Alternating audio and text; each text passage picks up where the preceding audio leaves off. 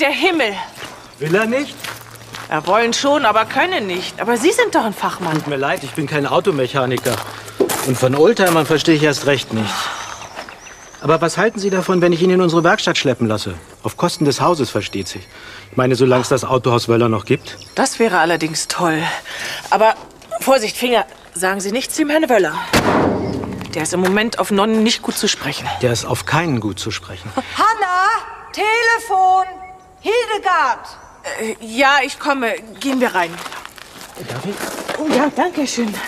Ist es also soweit mit dem Autohaus? Ja, der nächste Erste ist der Letzte.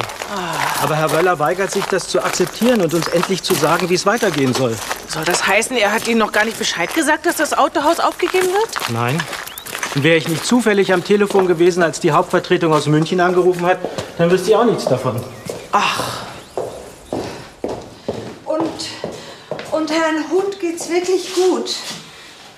Ja, fehle ich ihm denn? Hm, schön. Sie ist jetzt da. Äh, Und sag ihm, dass ich ihn vermisse. Grüß Gott, Herr. Brotbeck. Äh, ja. Ja, Hildegard. Katastrophe. Du sollst sofort nach München kommen. Lass mich raten. Der Herr Wöller. Ja, er hat der Mutter gesteckt, dass ihr die Waldorchideen gepflanzt habt. Dann sag der Mutter doch bitte, dass ich ihrem Wunsch zu erscheinen gerne nachkommen würde, aber unser Auto ist kaputt. Du kannst dir langsam eine neue Ausrede einfallen lassen. Stimmt aber. Aber das nimmt mir die Mutter nicht ab. Wenn sie es nicht glaubt, kann sie gerne Herrn Brotbeck vom Autohaus Wöller anrufen. Wir sitzen nämlich gerade hier und warten auf den Abschleppwagen. Gelobt sei Jesus Christus. Entschuldigung. Aber ich bitte Sie. Ja. hm. Warum äh, konfrontieren Sie denn den Herrn Wöller nicht einfach damit? Ich meine, selbst er muss sich doch Gedanken darüber machen, wie es mit Ihnen allen weitergehen soll. Sollte man meinen. Aber Sie wissen doch, wie er ist. Wenn ich ihm damit komme, rastet er doch nur wieder aus. Ja, und wenn ich damit komme, macht das auch keinen Unterschied. Dabei hätte ich sogar eine Idee, wie er seine Firma über Wasser halten könnte. Darf ich fragen, was für eine Idee? Ja, sicher. Ja? Du hast Besuch, die Frau Laban.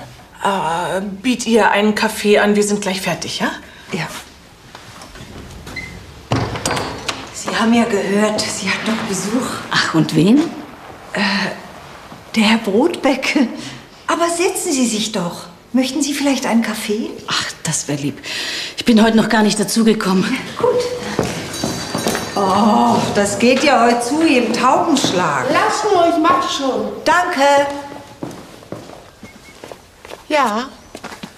Möchten Sie zu unserer Beratungsstelle? Sehe ich wirklich schon so krank aus? Eigentlich nicht. Da bin ich aber froh. Gerhard Scharf, ich möchte gerne mit Schwester Hanna sprechen. Wir kennen uns noch aus dem Klöckner von Kaltental. Bühnenbildner. Darf ich? Nein. Wenn Sie bitte im Refektorium warten wollen, ich werde dann Schwester Hanna benachrichtigen. Ihr Kaffee. Vielen Dank. Möchten Sie vielleicht auch ein Stück Käsekuchen? Es ist von gestern noch etwas übrig. Nein, danke, Schwester. Ich kann das Wort Käsekuchen jetzt für längere Zeit nicht mehr hören. Aha. Apropos Käsekuchen. Der Herr Wöller. Marianne Laban, ich bin zurzeit nicht. Zickendraht.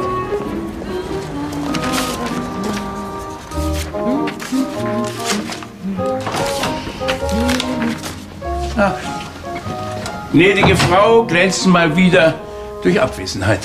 Ja, und angerufen hat sie auch nicht. Ich mache mir ehrlich gesagt schon Sorgen. Ich nicht. Gibt die Mutter Oberin endlich klein bei? Nein. Dann verbinden Sie mich umgehend mit ihr. Das sieht ja gut aus. Mein Käsekuchen, eine Tasse Kaffee. Wenigstens das funktioniert. Ach ja. Aber ganz gut, dass Frau Laban nicht da ist. Ich muss nämlich dringend mit Ihnen reden, Herr Wöller. Aha. Sie hatten mir zugesagt, dass Frau Laban bis spätestens zum Monatsende kündigen würde. Aber es sieht irgendwie gar nicht danach aus. Tja, dann ziehen Sie doch die Mobbingschraube etwas stärker an. Was meinen Sie damit? Ja, eine kleine Unverschämtheit da, eine Gemeinheit hier. Ich meine, wenn Sie diesen Job haben wollen, dann müssen Sie sich schon kräftig ins Zeug legen. Aber ich, ehrlich gesagt, ich mag die Frau Laban. Ja, meinen Sie ich nicht. Aber sie hat sich für einen anderen entschieden, mit drei Plagen. Und diesen Job hier, den kann man nicht so nebenbei erledigen. Das wird wahrscheinlich die Mutter Oberin sein. Rathaus Kaltental? Hermann, was willst du? Ja, was sonst? Ich dachte, ihr seid noch beim Abholzen. Solange die Mutter Oberin nicht klein beigibt, wird weiter abgeholzt. Ende. Ja, was ist? Verbinden Sie mich mit Mutter Oberin. Jetzt stehen Sie nicht so rum wie eine Straßenbahn bei Stromausfall. Und lassen Sie sich nicht wieder von der Blindschleich im Vorzimmer abwimmeln, ja?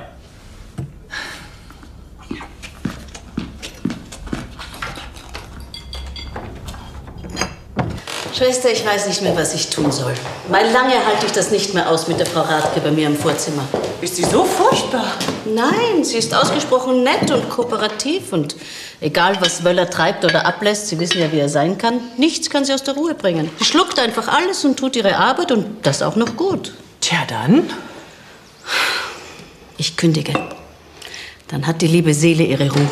Nein, Frau Laban, bitte nicht. Ich brauche sie dort. Und heirate den Konrad und kümmere mich um seine Kinder.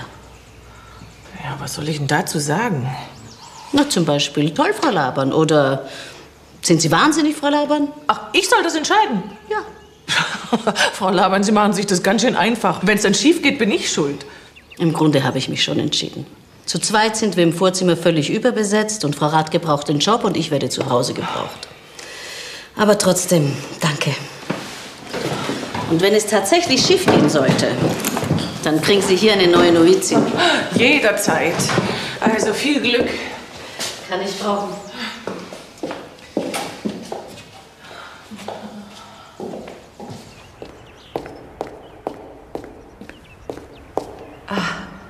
Gerhard, wie schön. Wie geht's am Theater? Ist was? Katastrophe, Hanna. Was ist los? Ich weiß nicht mehr weiter. Was ist passiert? Günther hat seinen Job in der Schule geschmissen und will zurück nach München. Was? Warum das denn?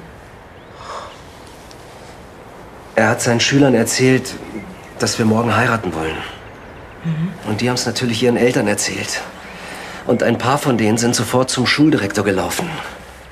Und dieses Weichei hat jetzt Günther ganz massiv nahegelegt, sich doch versetzen zu lassen. Das gibt's doch gar nicht. Doch, Anna. So etwas gibt es. Hier und heute. Sowas darf man sich nicht gefallen lassen. Da muss man doch was unternehmen. Soll ich mal mit dem Direktor reden? Das ist doch sinnlos. Günther will nicht mehr. Er ist so fertig, dass er unsere Hochzeit absagen will.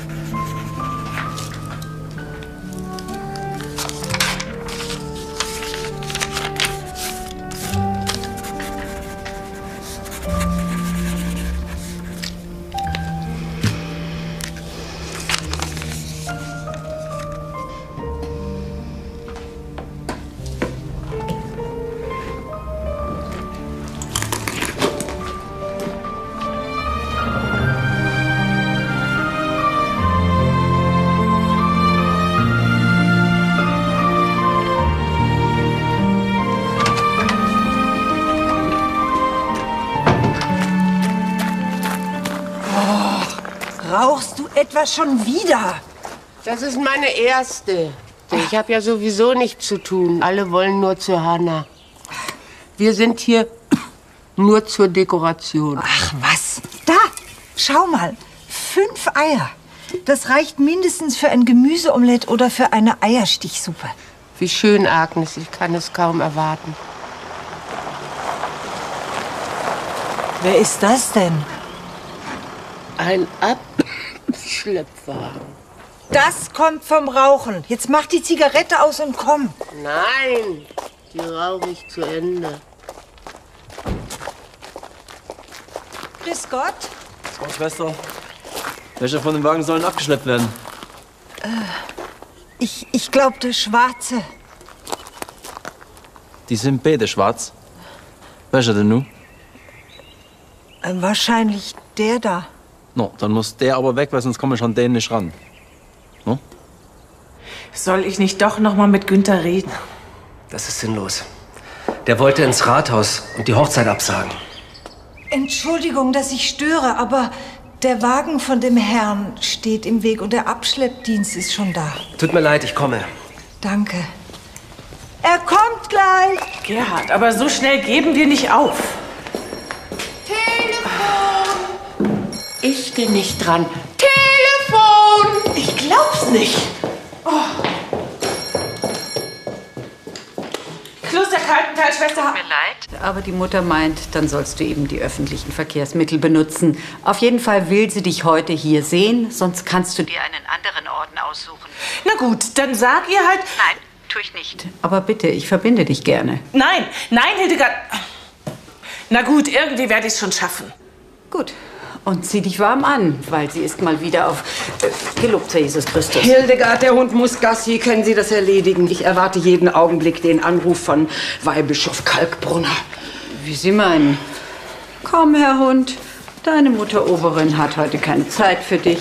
Ich weiß, ich weiß, ich habe Ihnen versprochen, dass ich mich um das Tier kümmern werde. Aber ich kann mich nicht vierteilen. Schon gut. Hildegard, wenn Sie ihn kurz von der Leine lassen, klappt es schneller mit dem Geschäftchen. Absagen? Nein, das wirst du nicht tun. Du wirst weitermachen wie geplant und ich verspreche dir, die Hochzeit wird stattfinden. Und wenn nicht hier im Rathaus, dann eben bei uns im Kloster. Ja, das sagst du so einfach. Ja, einfach wird's nicht werden. Also komm, Gerhard. Okay. Aber du kommst heute Abend zu unserem Polterabend. Oh, das weiß ich nicht, ob ich das schaffe. Ich muss noch mal nach München, ins Mutterhaus, weil die... Oh, bitte. Also, komm, hör auf damit. 20 Uhr? Ja. Okay. Ich verlasse mich auf dich. Ja, ja.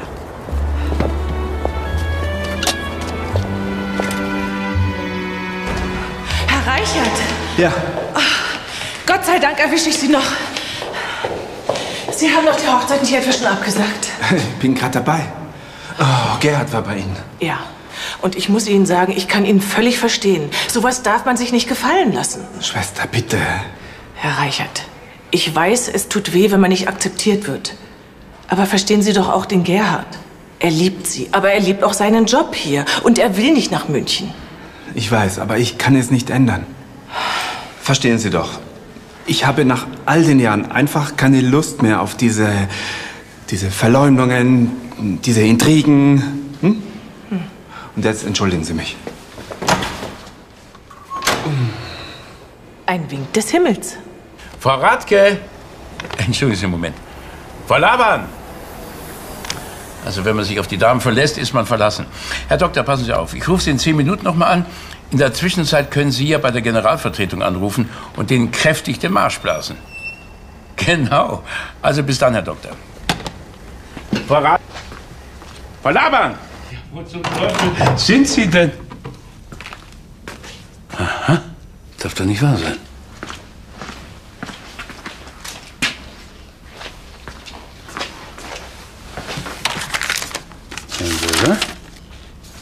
Gratuliere. Sie haben es geschafft. Ich kündige fristlos. Labern. Na, was sagt's denn? Herrn Weller? Aha. Es tut mir leid, aber ich glaube, es ist doch für beide Seiten besser, wenn ich meine Probezeit mit sofortiger Wirkung beende. Ja, sind die denn von allen guten Geistern verlassen?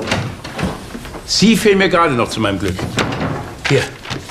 Frau Laban hat fristlos gekündigt. Ich weiß, aber das wollten Sie doch. Außerdem haben Sie ja immer noch Ihre Frau Radke. Die hat auch gekündigt. Ach du Schande. Dann sind Sie ja sozusagen vollweise. Ja. Die Ratten verlassen das sinkende Schiff. Aber ein Wöller lässt sich nicht unterkriegen. Mein Anwalt ist gerade dabei, der Generalvertretung in München klarzumachen. Bitte, nehmen Sie doch Platz. Danke. Dass Sie so, also ohne Entschädigung in Millionenhöhe, an das Autohaus nicht aus diesem Vertrag kommen. Aber wo der Vertrag ist, weiß nur die Labern. Tja. Aber ich fürchte mal, das ist noch Ihr kleinstes Problem. Wieso? Oder was halten Sie von der Schlagzeile? Bürgermeister Wöller duldet, dass der beliebte und exzellente Lehrer Günther Reichert vom Gymnasium fliegt. Ja, was hat das mit mir zu tun?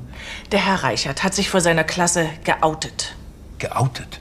Ja, weil er diese Lügerei und das Versteckspiel einfach satt hatte. Er wollte Sie damit sagen, dass er vom anderen Ufer ist, oder was? Ja. Aha. Und er will seinen langjährigen Partner, den Gerhard Scharf, ach, den kennen Sie übrigens, der war der Bühnenbildner vom Glöckner. Heiraten? Ja, heiraten geht ja nicht, aber sie wollen eine Lebensgemeinschaft eintragen lassen. Und ich halte diese Direktion. Also Sie können halten, was Sie wollen, aber jetzt halten Sie erstmal die Luft an. Ein schwuler Lehrer outet sich vor seiner Klasse, weil er einen Mann heiraten will. Und Sie finden das in Ordnung? Ja, Sie etwa nicht? Ja, private jemand, da können die machen, was sie wollen. Aber ich als Bürgermeister, ich unterstütze das nicht. Ja, auch nicht, wenn die Mädchen und Jungen das für total cool halten? Also cool hin oder her. Verschonen Sie mich. So, ich muss jetzt nach München. Einmal dürfen Sie raten, wohin. Zur Mutter? Ach, das ist ja wunderbar. Unser Auto ist in der Werkstatt, da kann ich ja gleich mit Ihnen mitfahren. In welcher Werkstatt? In Ihrer? Meine Firma ist am Ende. Meine Sekretärin haben das Weite gesucht. Und Sie haben die Stirn, Ihre Schrottlaube bei mir reparieren zu lassen. Für einen Vergeltskott nehme ich an. Ja. Und als Dank dafür darf ich Sie dann durch die Gegend chauffieren. Oder wie, oder was? Ja. Das gibt uns doch die Chance, unterwegs gewisse Dinge zu regeln und unsere reparaturbedürftige Beziehung wieder auf Vordermann zu bringen. Ne? Also kommen Sie. Also jetzt schau mal, hier ist es doch perfekt. Ja, besser wird's nicht. Jetzt mach schon.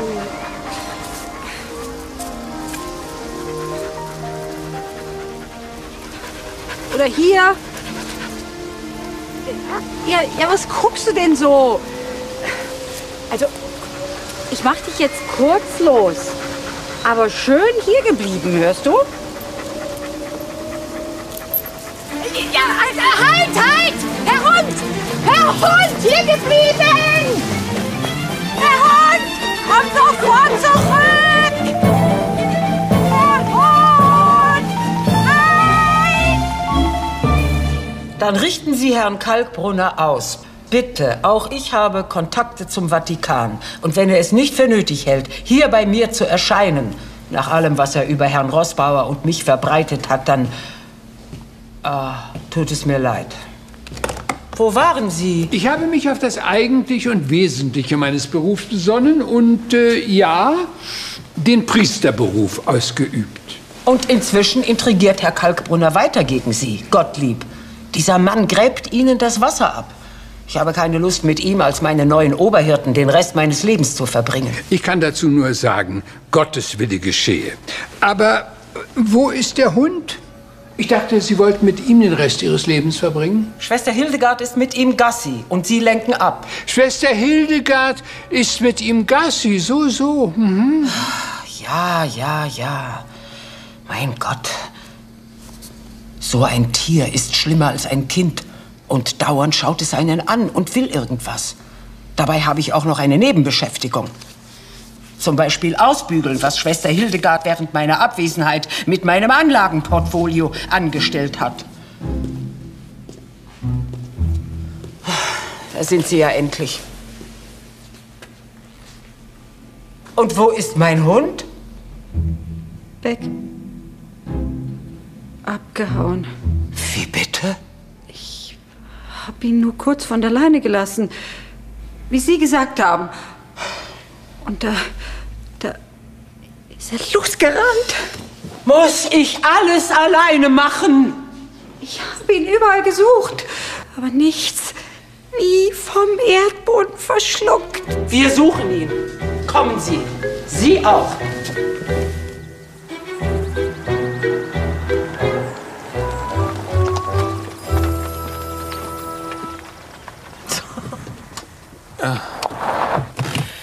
Darf doch wohl nicht wahr sein. Kein Wunder bei dem Stress. Man kann nicht an alles denken. Aber dafür haben wir einen Reservekanister. Tja. So.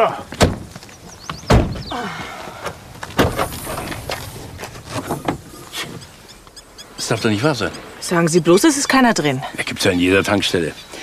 Ich würde vorschlagen, ich halte die Stellung und Sie laufen schon mal los. Ich?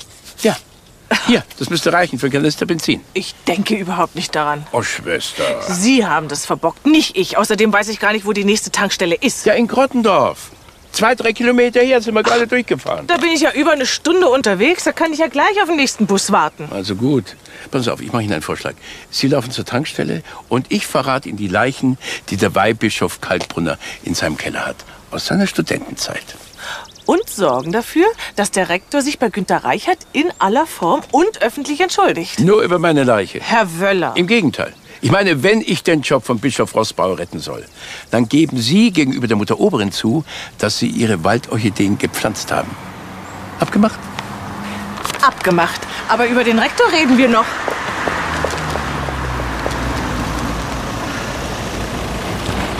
Sie schickt der Himmel, Herr Meier. Sie haben doch sicher einen Reservekanister dabei. Gehört zur Grundausstattung. Benzin alle, Herr Oberbürgermeister? Tja, Ihrem kriminalistischen Spürsinn entgeht wohl gar nichts. Also machen Sie schon. Wir haben's eilig. Gern. Aber eine Hand wäscht die andere. Wie? Dafür kriege ich von Ihnen die Spitzen von den Tannen, die der Huber abholzt. Ja, wieso das denn? Weihnachtsbäume für seine Oma. Jetzt, Sie sagt. jetzt sagen Sie schon ja, dass wir weiterkommen. Ja. Bitte? Also, manchmal könnte ich Sie. Ja, ja. Das geht nicht nur Ihnen so, aber ich habe einen wachsamen Schutzengel. Da drüben. Hund! Das ist er nicht. Hund! Das ist er auch nicht. Das ist ein Cocker Spaniel. Das sehe ich, Herr Rossbauer. Tun Sie doch auch mal was. Pfeifen Sie. Sie können doch mich pfeifen. Ja, ich konnte das mal, aber es ist schon sehr lange her. Hildegard, weiter so. Es nutzt aber nichts. Das habe ich doch schon längst versucht. Geben Sie es auf, Frau Reuter. Ich suche eins von den Fotos aus, die Sie mit Ihrem Handy gemacht haben. Und wir hängen es an jeden Baum im englischen Ich Garten. konnte auch meine, meine, meine Kontakte zur Lokalpresse aktivieren. Wir suchen weiter. Bis zur Dunkelheit sind noch mindestens fünf Stunden. Dieses arme Tier ist doch die Großstadt gar nicht gewöhnt. Wer weiß, was ihm alles zustoßen kann. Und ich bin verantwortlich. Hund!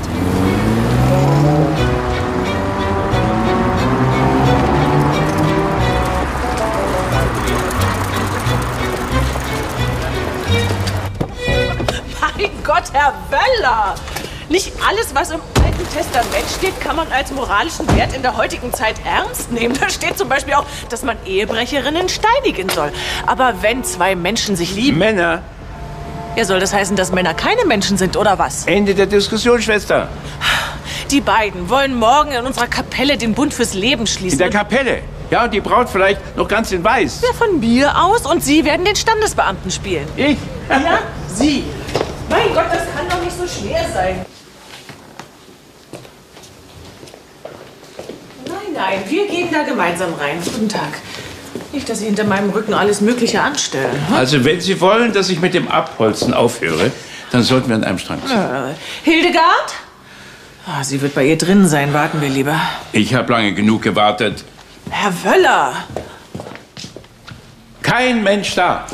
So wohl das allerletzte. Ja, also das verstehe ich jetzt auch nicht, wo sie extra drauf bestanden hat, dass ich... Also, ich gehe hier nicht weg, bis ich da Schiff gemacht habe. Ja, So. wie Sie meinen. Aber dann können Sie ja gleich mal Weihbischof Kalkbrunner verarzten. Sagen Sie mal, wo sind die Kekse? Hier gibt's doch immer so Besucherkekse. Ich hol Ihnen schon welche, aber erst verbinde ich Sie mit dem bischöflichen Ordinariat. Ja, Sie haben es ja sehr eilig. Na, Man muss das Eisen schmieden, solange es heiß ist. Morgen wollen Sie dann von allem nichts mehr wissen, wie ich Sie kenne. Ja, kennt mich ja ganz gut. Äh, Mutterhaus der Magdalenerin, äh, Büro Frau Dr. Dr. Reuter. Ich hätte gern seine Exzellenz Weihbischof Kalkbrunner gesprochen.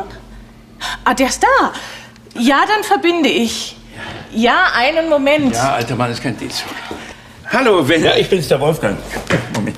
Leg ja nicht auf, weil sonst kannst du das, was ich dir zu sagen habe, morgen zum Frühstück in der Zeitung lesen.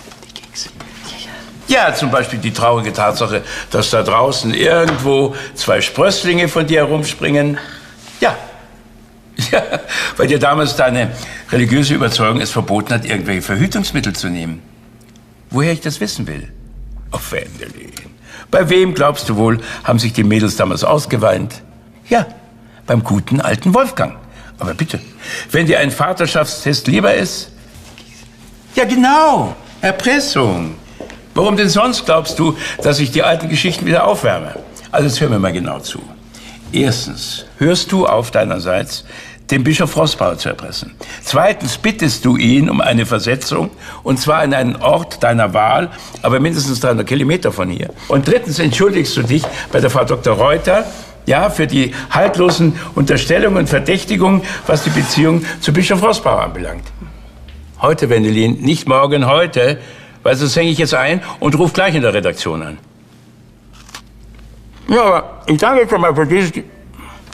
Da eingehängt, dieser Schleimbeutel. Zwei Kinder. Was weiß ich. Ich meine, so wie der das damals getrieben hat, ist es gar nicht nachzuzählen. Also, der muss mir jede Geschichte glauben. Ne?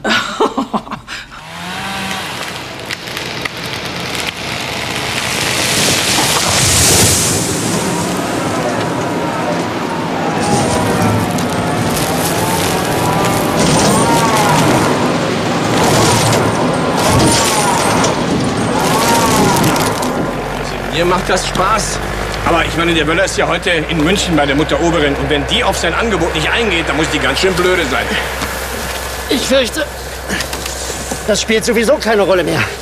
Weil da kam heute was aus München per Fax bei uns in der Dienststelle an mit der ausdrücklichen Anweisung vom Innenministerium, Ihnen das persönlich auszuhändigen.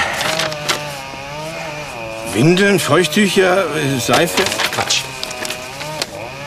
Einstweilige Verfügung? Genau. Ich muss Sie also bitten, die Arbeit hier umgehend einzustellen. Und das sagen Sie mir jetzt erst? Ist doch früh genug. Äh, Herr Huber, tut mir leid. Herr Huber, ich brauche den Weihnachtsbaum. Ja, tut mir leid, einstweilige Verfügung. Aber das könnt ihr doch nicht machen. Kann ich. Meine Oma dreht durch. Frohe Weihnachten. Mein Gott, dann versuchen wir es halt morgen noch mal. Aber die Baumfällerei muss aufhören. Von wegen. Ich fälle so lange weiter, bis ich einen Vertrag in der Tasche habe. Und jetzt steigen Sie ein. Und unterwegs auf der Fahrt kein Wort. Sie können von mir aus den Rosenkranz beten. Gerne. Aber eins möchte ich noch loswerden. Es geht um die Hochzeit von Herrn Reichert und Herrn Scharf. Schwester. Also ihre geradezu homophobische Art könnte man tiefenpsychologisch auch falsch verstehen. Wie soll ich denn das verstehen? Oh, Hunde, die getroffen sind, bellen. Brrr.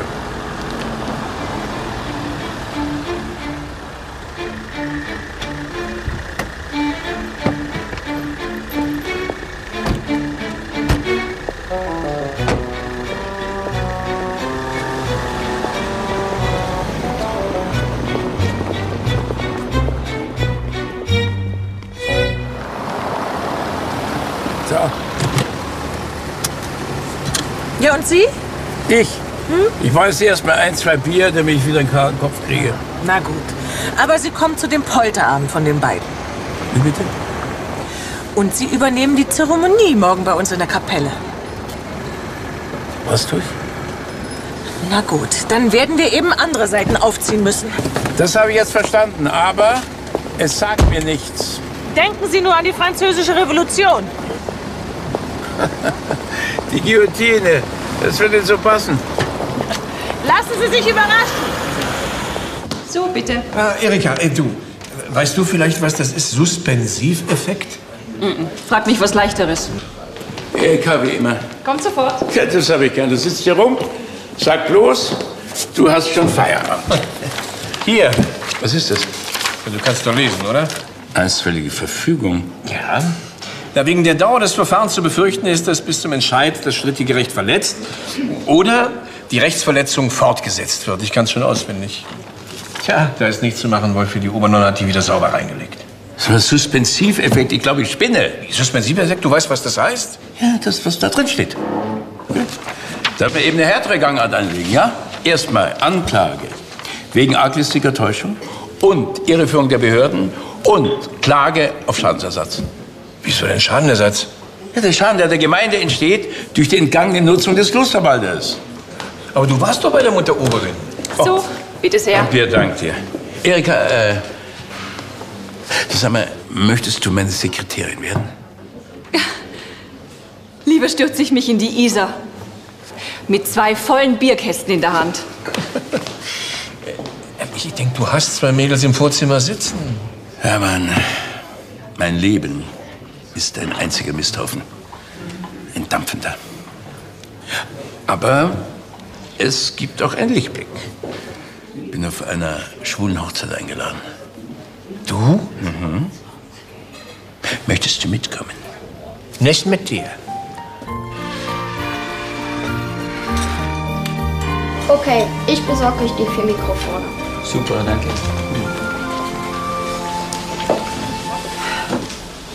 Hallo, alles Paletti? Passt. Was können wir für Sie tun? Was haben Sie denn auf der Pfanne? Ähm, der Günter Reichert ist doch euer Lehrer. Ach, das hat sich bis zu Ihnen durchgesprochen. Eine Schweinerei ist es, wie der Rektor mit dem umgeht. Du hast ja nötig. Dein Vater ist doch einer von den Schlimmsten. Ja, sorry, aber bin ich mein Vater? Und das lasst ihr euch einfach so gefallen? Nee. Wir sind gerade dabei, einen Artikel für die Schülerzeitung zu schreiben. Das ist leider zu spät. Der Herr Reichert geht zurück nach München an seine alte Schule. Das darf nicht wahr sein. Genau das wollten wir verhindern. Tja. Ja, und was machen wir da jetzt? Ich hätte da was auf der Pfanne. Das könnte sogar funktionieren. Allerdings bräuchten wir da die ganze Schule, sprich alle Schüler. Meint ihr, ihr kriegt es bis morgen äh, gebacken? Gebacken? Na, ist doch kein Ding. Was soll ich den Leuten im Internet denn flüstern? Ja, was haben Sie denn vor? Nicht ich. Ihr.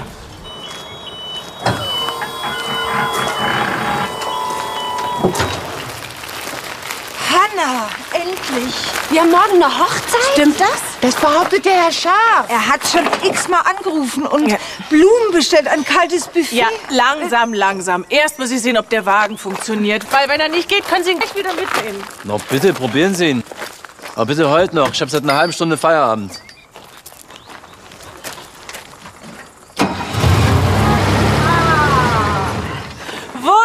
Wunderbar. Vielen Dank an Herrn Brotbeck. Wiedersehen. Hanna, jetzt sag schon. Ja, und der Herr Wöller wird die beiden trauen. Der Herr Wöller? Ja, weil ich denke mal, unser Herr Pfarrer ist nicht aufgeschlossen genug, eine gleichgeschlechtliche Ehe zu trauen. Gleichgeschlechtlich? Agnes, zwei Männer miteinander.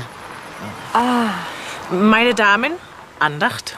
Aber es wird doch eine Stelle geben, wo man einen Hund vermisst melden kann. Weihbischof Kalkbrunner. Ich kenne den Weg. Entschuldigen Sie, wenn ich Sie beim Abendessen störe, aber die Angelegenheit duldet keinen Aufschub. Aha. Erstens möchte ich mich in aller Form bei Ihnen, Frau Dr. Reuter, für das, äh, naja, Missverständnis entschuldigen, was Sie und Ihre langjährige Freundschaft mit Bischof Rossbauer betrifft. Zweitens habe ich mein Lamento Gravis bei der Kurie zurückgezogen, Sie und meine, Ihre Nachfolge betreffend. Und drittens ersuche ich Sie, meiner Versetzung nach Hamburg zuzustimmen und äh, meinen Weg mit Ihrem Segen zu sanktionieren.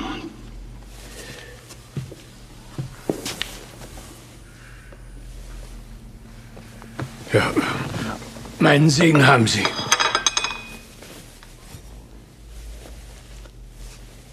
In nomine Patris et Filii et Spiritus Sancti. Amen. Darf ich fragen, wann... Bitte nicht. Mein Fahrer wartet. Ich wünsche noch guten Appetit.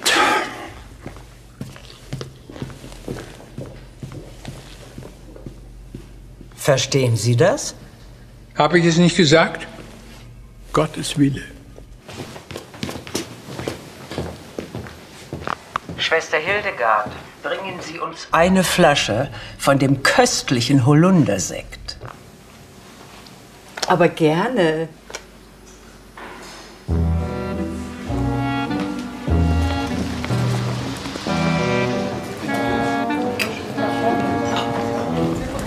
Darf ich stören? Nein, wir essen. Ja, Herr Brotbeck, bitte. Nehmen Sie Platz. Grüß Sie, Herr Huber. Tut mir leid, aber da Sie sich die letzten 14 Tage in der Firma nicht mehr haben blicken lassen, da... Sie wissen Bescheid. Alle wissen Bescheid und haben mich gebeten, bei Ihnen vorstellig zu werden. Ja, was soll ich Ihnen sagen, Herr Brutbeck? Ich habe alles versucht, aber das letzte Wort ist noch nicht gesprochen. Ich habe jetzt meinen Anwalt eingeschaltet. Das bringt doch in der Regel nichts. Ich habe eine bessere Idee. Naja, eigentlich ist es die Idee von Schwester Hanna. Siehst du, was ich sage? Diese Frau verfolgt mich bis in meine Albträume. Ja. Gebrauchtwagen. Und? Der Neuwagenmarkt ist doch auf Jahre hinaus gesättigt, kann man sagen. Aber es gibt genug Leute, die ein Auto brauchen und sich kein neues leisten können. Und wir haben doch jede Menge Gebrauchte, die wir in Zahlung genommen haben. Und wenn wir die noch auf Biodiesel umrüsten, dann müssten wir doch irgendwie über die Runden kommen. Sehr gut. Sehr, sehr gut. Eine tolle Idee. Nur eins stört mich. Und was? Dass sie nicht von mir ist.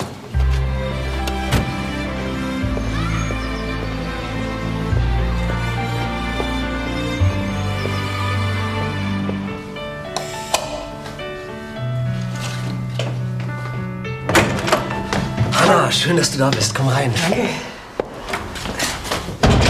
Ich habe vorsichtshalber allen anderen abgesagt.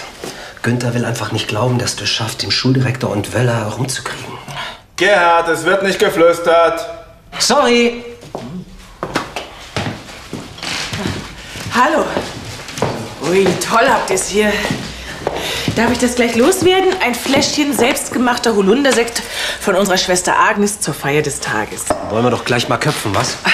Zur Feier des Tages? Gibt es denn was zu feiern? Hm, das riecht ja lecker. Was gibt's denn? Spaghetti alla Tris. À la Trise. Ja. Drei verschiedene Soßen.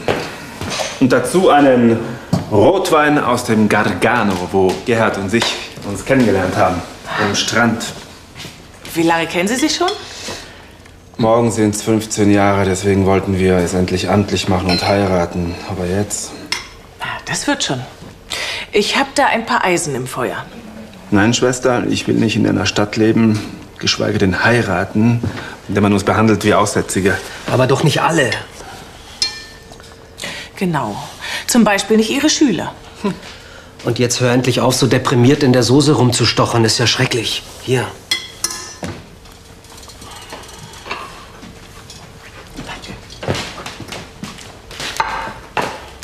Hier. Auf morgen. Und den schönsten Tag in deinem Leben. In meinem? Und was ist mit dir? In meinem Leben ist sowieso jeder Tag mit dir der schönste.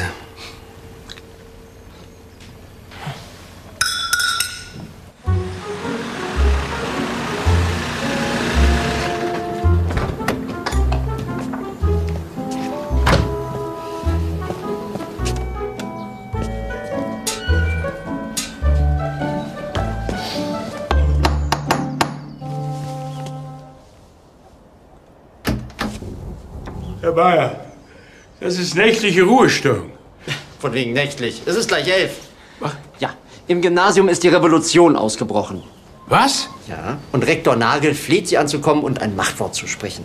Schwester Hanna, diese Frau ist unsäglich. Ich muss mich noch um einen Weihnachtsbaum kümmern. Können Sie selber fahren? Klang nach einem Ja.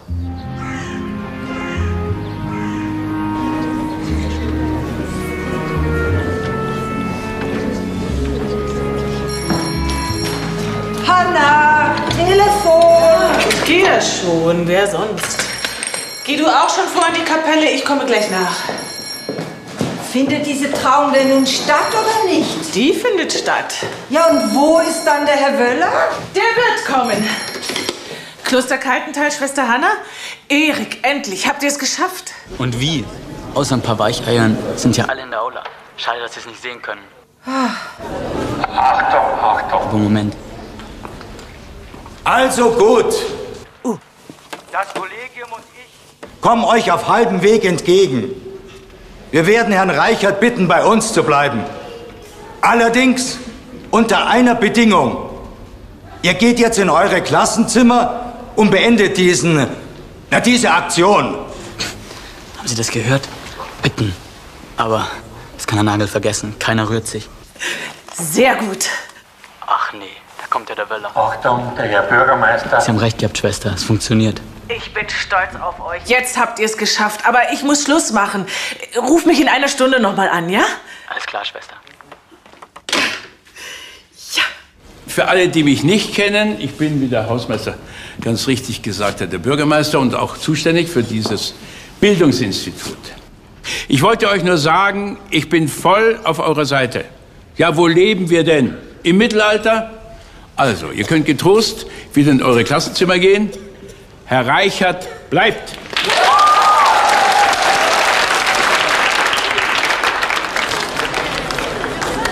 So macht man das. Und jetzt kommen Sie mit, Herr Nagel.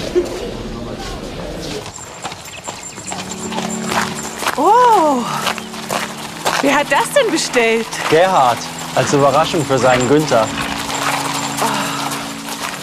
Das ist ja richtig romantisch.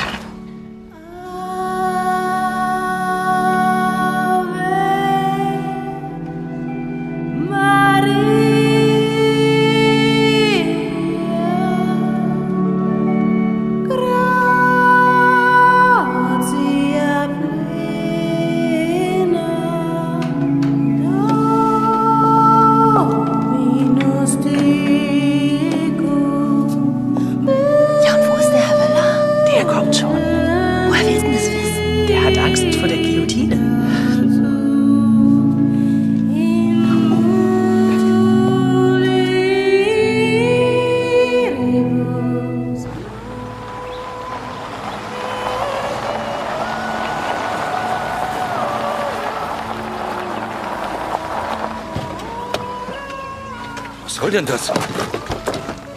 Eine offene Hochzeitskutsche. Damit die ganze Welt es mitkriegt. Jetzt legen Sie sich ab, Herr Nagel, ja? Vielleicht haben wir Glück, die Pferde gehen durch.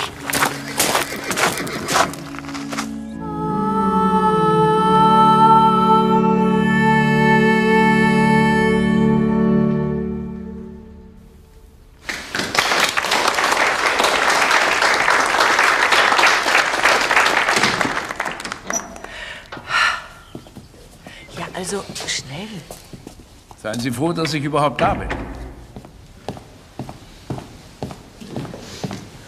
Herr Reichert und Herr Scharf. Richtig, richtig. Also gut, meine Herren, was sagen. ne?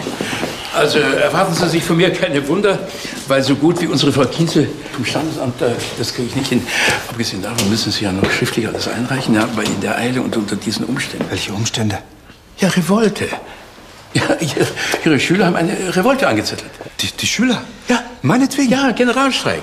Sie müssen am Gymnasium bleiben, Herr Reichert, ja? Also das können Sie Ihren Schülern nicht antun. Können wir jetzt anfangen? Bitte, meine Herren. Nehmen Sie Platz. Lieber Herr Reichert, lieber Herr Scharf, als mich gestern der Ruf erreichte, also gestern Abend, ob ich bereit wäre, Ihre Vermählung, sprich Ihre eingetragene Lebensgemeinschaft sozusagen standesamtlich abzusegnen, da, ich gebe es zu, da habe ich kurz gezögert. Und dann dachte ich, ja, äh, ja, ja. Herr Wöller, Gerhard, das ist doch wahr.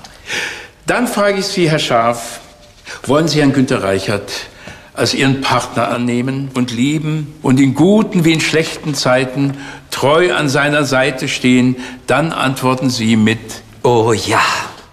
Und Sie, Herr Reichert, wollen Sie Herrn Gerhard Scharf als Ihren Partner fürs Leben annehmen und lieben und in guten wie in schlechten Zeiten treu an seiner Seite stehen? Dann antworten Sie mit Ja.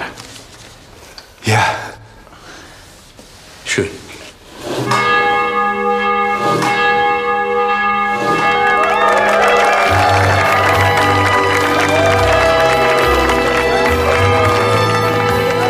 Gerhard? Das ist symbolisch. Wir sind ein Gespann und ziehen gemeinsam unsere Kutsche durchs Leben. Ich glaube, ich bitte.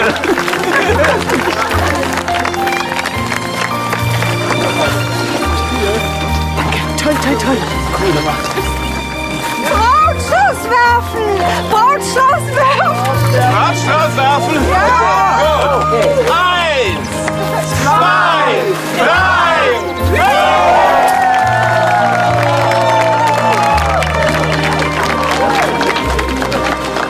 gratuliere. Ja, werden Sie lieber Ihren Text los und entschuldigen Sie sich, weil sonst sind die beiden weg. Ja, okay. Schöner Strauß. Danke. Ich möchte mich noch entschuldigen. Es war ein Missverständnis. Sie bleiben natürlich bei uns auf der Schule. Danke, danke. Bitte. Herr Wöller, ich bin zutiefst gerührt. Sind Sie doch noch über Ihren eigenen Schatten gesprungen? Ja, besser gesagt, über Ihren Schatten gestolpert. Aber es war doch ein erfolgreicher Tag heute. Ja, einstweilige Verfügung, Revolte an der Schule. Bischof Kalkbrunner nach Hamburg versetzt, ein Ja. glückliches Paar, das in den siebten Himmel der Liebe schwebt. Ja, um dann in zwei Jahren festzustellen, dass es unser einem doch lieber nicht nachgemacht hätten. Ich meine, wenn es darum geht, sich dann nach der Scheidung zu streiten, wer kriegt einen Fernseher, wer kriegt die Sitzgruppe? Oh, Herr Wöller, es muss doch nicht jedem gehen, so wie Ihnen. Jetzt reden Sie doch diesen schönen Moment nicht kaputt. Und außerdem, wir beide, wir sind doch ein tolles Team. Hm? Ja, mehr oder weniger. Ja, ich meine schon, schon eher mehr.